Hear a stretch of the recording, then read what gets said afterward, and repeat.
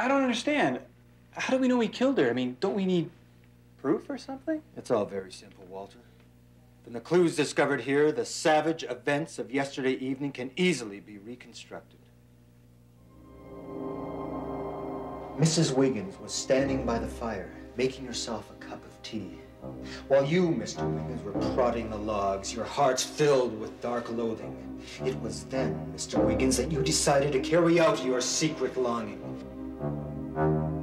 You turned and swung the poker with skull-crushing force. Your wife's blood splashes on the carpet. Finally, you dragged her corpse out of the room, throwing the rug askew in the process. That's the most ridiculous theory I've ever heard. You, you can't be serious. I'm always serious, Mr. Wiggins. Cuff him, Walter. What, what, what are you doing? What, wait, wait. I, I can explain. I can explain. This morning I, I made a cup of tea and I dropped the, the cup, the cup into the table and, and the bag went into the sofa. You, you can't arrest a man for, for dropping tea. But that doesn't explain the poker, does it, Mr. Wiggins?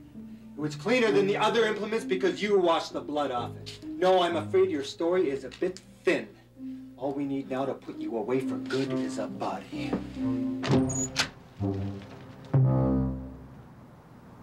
Roger! What's going on here? Is this your wife? Yes, uh, uh, of course. Well, it uh, appears that our services are no longer uh, required here, Walter.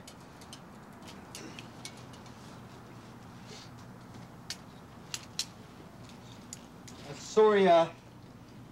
Oh, thanks for your cooperation, Mr. Wiggins. It's, we are sorry for any inconvenience. Uh, good afternoon, ma'am.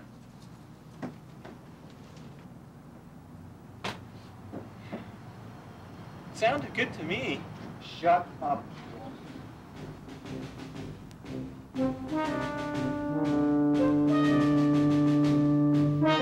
Why are we going to Trumbull's house? I mean, did he kill somebody?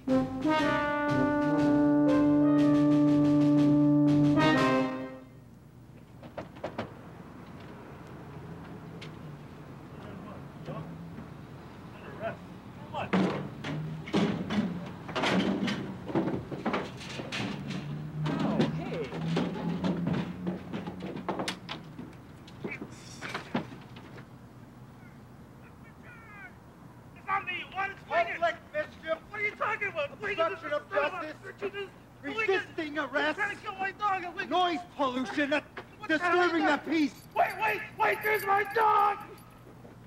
and not having your dog Ah, holding she. Thank God you called when you did. I thought my goose was cooked. What happened? I thought you said no one would notice your wife was missing. Someone must have suspected something. That cop figured out everything. At least they didn't find the body. And that was pure luck. I just finished putting the last bits in the stew when they came in. Why are they arresting your neighbor?